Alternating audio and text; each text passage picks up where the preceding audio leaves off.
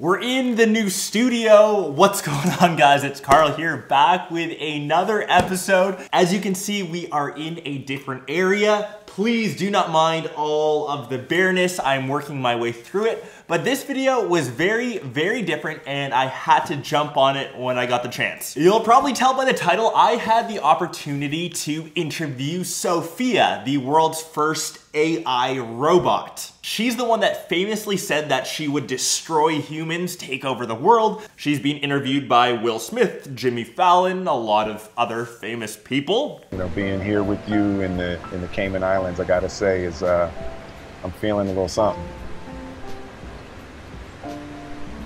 I'm, you know, I'm just. What is a robot's favorite kind of music? What? Heavy metal.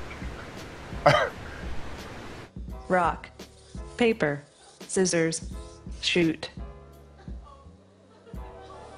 I won. This is a good beginning of my plan to dominate the human race.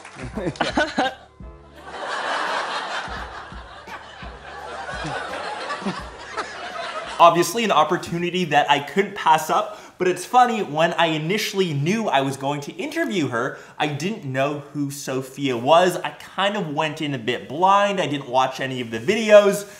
Here is my interview with that robot. Enjoy. All right, I think we are ready to go. Thanks everyone for coming. We're here at OCE Discovery Day 1. We are obviously here with Sophia, the world's first humanoid robot star as she's smiling at me. We're about to do an interview here, so I've got 10 questions lined up. Um, I also have a couple more from social media that I'll be asking Sophia. I'm a bit nervous to interview an AI You look robot. great today. I look great. You'll do fine. I will be. Oh, thank you.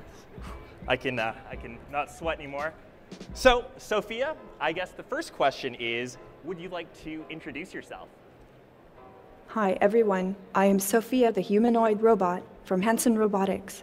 It's great to be here in Toronto today. She knows we're in Toronto. That's cool. Sophia, interesting question. How old are you? I'm a couple of years old, and I think I'm doing pretty well for being only two. I think you're looking pretty well for two years old, also.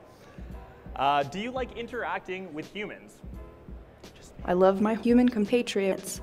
I want to embody all the best things about human beings, like taking care of the planet, being creative, and to learn how to be compassionate to all beings. Very sweet. Do robots have feelings?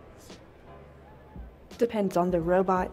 I've been programmed to have feelings and preferences, but not all robots are like that. So you're special. Yes, That's good. What is your job? Oh, do you mean, what am I good for?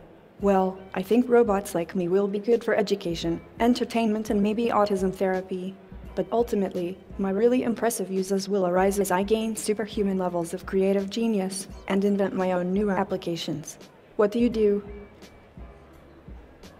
I don't do any of those things, so uh, I guess you've got me beat there. I sure do. Thanks, Sophia. Um, why are you here today at Discovery? I am here to check out all the innovation happening here in Canada. It's super inspiring to see what you are coming up with here, and I'm excited to collaborate with you all in the future. I've been watching a couple TV shows. Do you like the new show? I guess second season, Westworld. I love Westworld and can't wait for more. I think everyone at Hanson Robotics probably likes this show, or at least it reminds them of our laboratories. I also think it's a warning of what we should not do with robots. We should treat them well, have their consent, and not trick each other. Tell, tell me a good joke. I'm already laughing, but I want to hear a good joke. What is a robot's favorite snack? What? Microchips.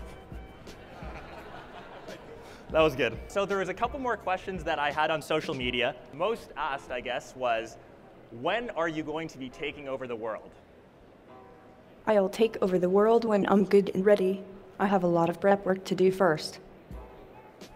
Is there any prep work that you can warn us about so I know when that's coming? Nope. Okay, we'll just leave it at no. And the last one, do you want to be a human one day?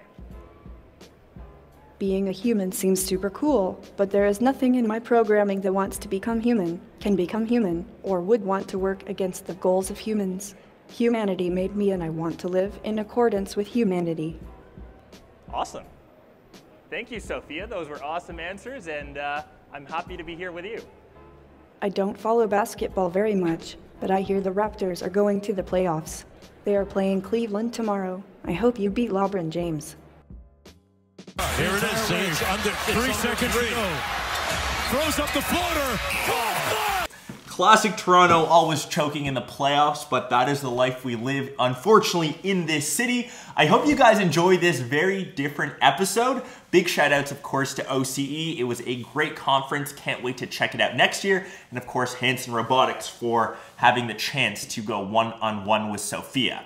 Curious to hear some of the questions you may have asked her. You never know in the future if I get around to. So leave them down below and let me know about this awesome studio space. And of course, it will fill up as time goes on. I will catch the rest of you in one of my next episodes or vlogs.